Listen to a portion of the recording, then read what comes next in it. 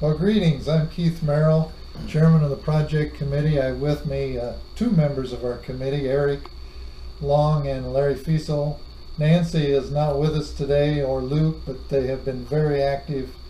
Uh, we've been meeting weekly uh, and many times daily on this project. Uh, well, it's been a month since our last project team update. Eric, of course, has been giving you weekly updates on the project. For those of you who are in the community, you see a lot of activity going on, the congestion in the streets, lots of trucks, so forth. Uh, River Ridge is, has a separate project, not related to our project, putting in pavers, and then we've been putting in a park where the old tennis court was, and so lots of activity there. But today we want to report uh, on the golf club itself. So now I'm going to have Eric and Larry update you on some specific areas of progress, what, what's happened uh, and is happening in the golf club itself. So we'll head over there right now. We're in front of the clubhouse right now. You can see some of the, right behind us, some of the uh, landscaping is starting to come in. We're starting right now with the trees. You can see we have a flank of royal palms on one side, flank of royal palms on the other side. This is to kind of give us the grand experience coming into the clubhouse. We will have some uplights going on to these areas. In the center, we will put in some celebration grass that's coming in very shortly. In the, in the exact center, we'll have an annual bed right in the center, and then we'll have annuals uh, around surrounding each one of the uh, royal palm areas. Uh, the other bushes and everything are starting to come in uh, starting on Saturday, and I'll showcase some of the other things coming on online right now. I also wanted to feature behind us the lattice work is starting to be put in on both sides. Right here you're going to have Asian jasmine going up. We do have Alexander palms going to be in between these areas and low-lying bushes and then annual beds in the front here. So it's going to be really great. You'll see some more progress next week.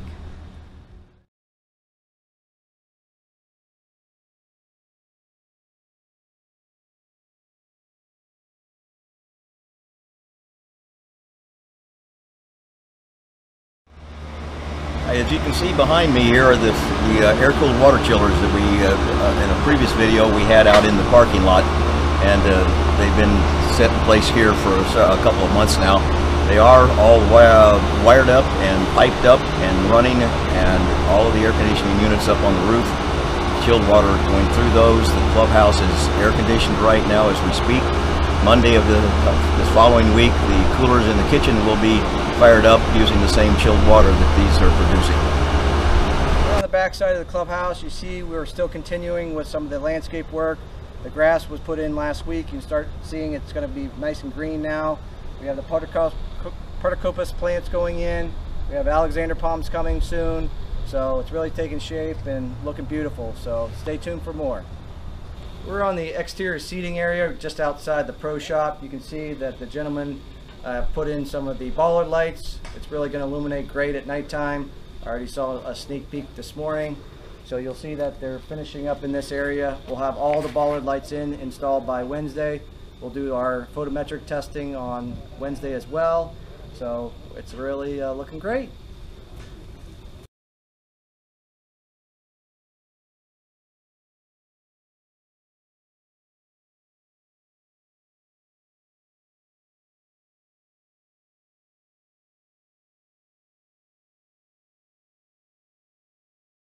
We're at the Pelican Pub. You can see that they're really uh, taking a lot of things. Uh, a lot of finishing touches are going on here.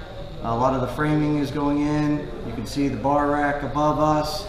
There'll be shelves above here that will have uh, liquor bottles. We'll also have a place to uh, store our glass, glasses as well. But the uh, bar top's coming in uh, next week, so you'll really see some more progress very soon.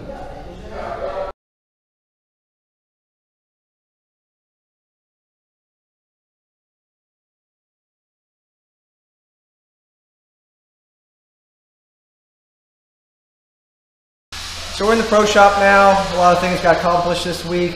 You can see uh, behind us the slat wall, the pro shop desk. Uh, more of the cabinetry has been installed above us, some of the decorative ceiling. Really going to be beautiful here. We're to have some pendant lights where you can see those opening junction boxes are.